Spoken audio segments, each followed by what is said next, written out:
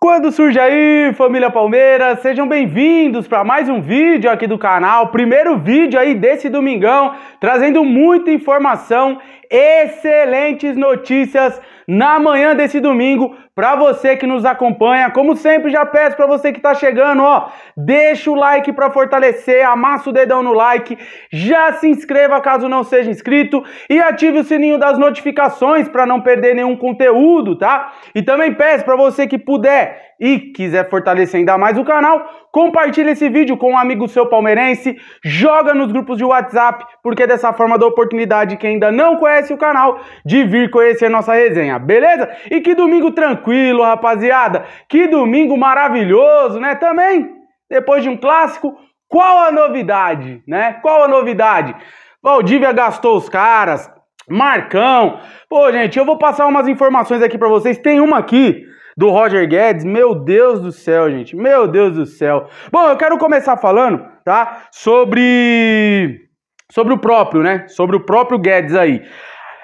Isso não tira, né, a arbitragem ruim, péssima arbitragem do Wilton Pereira Sampaio. Mas que cara enrolado, que árbitro ruim, gente. Vocês lembram quando eu falei aqui na semana passada?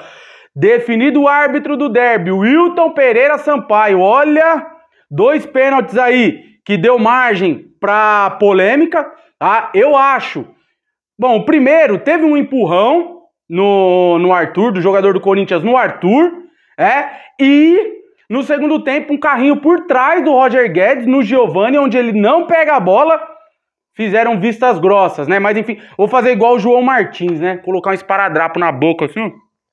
E o Abel falou que os próximos jogos vai pedir uma algema para não, né, para não gesticular. Enfim, esse Wilton é muito enrolado, tá? E assim, rapaziada, ele relatou na súmula, olha só o que ele relatou na súmula, hein? Isso diz muito a atual situação dos nossos rivais. Olha só, o Roger Guedes, após a partida, foi até o vestiário da arbitragem sem autorização nenhuma, sem permissão foi lá pedir o gol para ele na cobrança de escanteio que o Piquerez rebate, né? A bola acaba sendo o gol contra ali. O árbitro deu o gol contra do Piquerez e o Roger Guedes foi lá para pedir o gol para ele. Vocês têm, têm noção do atual momento dos nossos rivais? Do nosso maior rival? Gente, cadê os nossos rivais? Que momento que vive o Palmeiras! Que momento que vive o torcedor palmeirense! Roger Guedes foi no vestiário da arbitragem, pediu gol para ele. Meu Deus do céu! Ô Guedes, essa vergonha é no débito ou no crédito? E vale lembrar, vale lembrar que o título mais importante da sua carreira, ó, foi vestindo a camisa da Sociedade Esportiva Palmeiras, então mais respeito, viu? Você fala demais. Mas, gente, que situação, hein? Que situação que encontra os nossos rivais. E o Zé Rafael falou da situação, né? falou da situação aí do Corinthians numa entrevista pós-jogo aí pra TNT Esportes. Abre aspas aí pro Zé e me representou demais. Não temos nada a ver com o problema deles. Grande Zé, jogando muita bola aí, né? Fazendo encaixe perfeito aí nessa equipe do Abel. Sensacional, hein? Sensacional. Palmeiras é, em mais um domingo aí, começando após mais um derby, mais um clássico. Começando leve, começando livre, solto. Em segundo colocado ali já, né? No, no Campeonato Brasileiro. Bom, rapaziada, por falar em Campeonato Brasileiro, em classificação, em vitória no derby, Hoje, domingão, é um dia bom aí para você dar o seu palpite e ainda ganhar 100% de bônus. É, tô falando da 1xBet, que é a maior casa de palpites do mundo.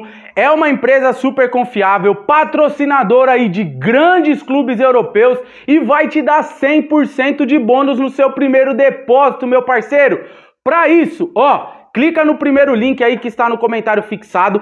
Clicou aí, já coloca o nosso cupom que aparece na tela. A partir daí, no seu primeiro depósito, ah, eles vão te dar 100% de bônus. Depositou 100, vai ganhar mais 100. Depositou 200, vai ganhar mais 200. Depositou 300, vai ganhar mais 300. E assim até mil e duzentos reais, beleza? E para sacar é facinho, você ganhou lá, para sacar é facinho no Pix. E só lembrando, tá? Vamos fazer aí com muita responsabilidade seus palpites e para maiores de 18 anos. Hoje tem jogos do Campeonato Brasileiro, tem clássico, hein? Tem Flamengo e Botafogo, tem Campeonato Inglês, tem Manchester City jogando, tem Liverpool e Tottenham, tem Campeonato Espanhol, Campeonato Italiano, então tem muito jogo aí, tá? Para você palpitar, né? E quem sabe fazer aquela fezinha aí, ganhar aquela é, aquele troco aí no domingão, né? Começar a semana aí bem, tá certo? Então é isso aí, um xbet, tamo junto, valeu. Bora lá dando sequência aí para as notícias, tá, gente? Ontem batemos o recorde de público do Allianz Parque. Na vitória em cima do maior rival, o estádio recebeu 41.457 torcedores. É o maior público da história do Allianz Parque, ó. Parabéns para você, torcedor palmeirense, hein? Parabéns! Mais um jogo aí onde a torcida fez a festa, espetáculo, né? Sensacional. E o Palmeiras correspondendo aí dentro de campo e afundando cada vez mais o nosso rival.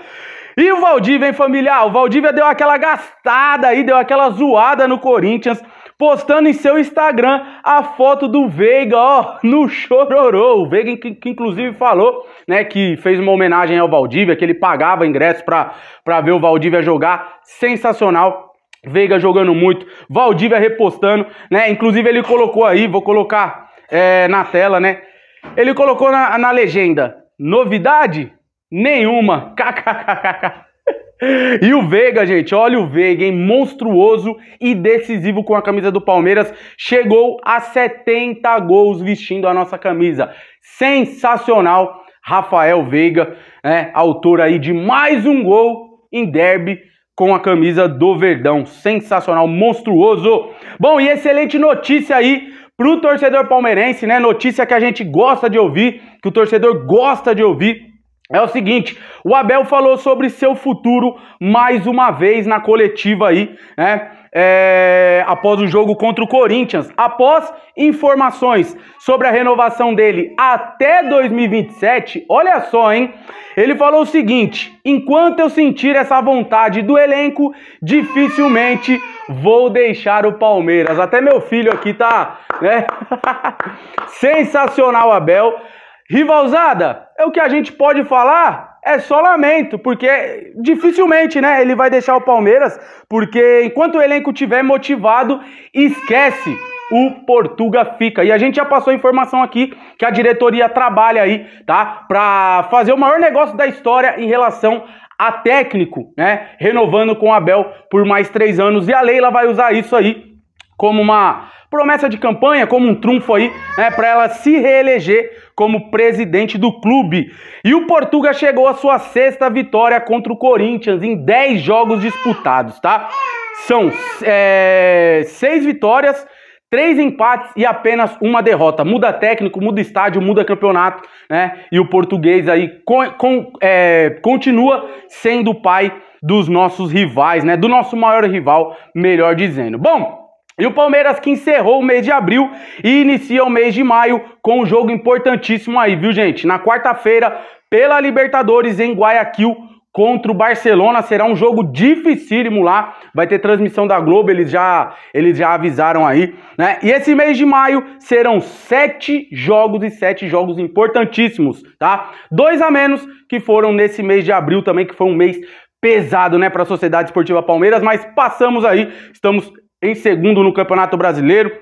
Que eu falo, tem que manter ali. Campeonato de pontos corridos, tem que manter, né? Libertadores, ainda estamos ali na disputa pela classificação, conseguimos uma vitória importante contra o Cerro e se Deus quiser, vamos lá para Guayaquil fazer um grande jogo e conquistar mais uma vitória, se Deus quiser, né? E é o seguinte, gente, por falar, né, no Allianz Parque, falamos aí da, da da quebra de público, né? Quebra de recorde aí de público. Seguimos invictos no Allianz nessa temporada. São 86% de aproveitamento. É o maior da história da Arena. São oito vitórias e dois empates nessa temporada, tá? E na era dos pontos corridos, só para finalizar, o Verdão chega a 300 rodadas no G4. Olha que baita informação, hein?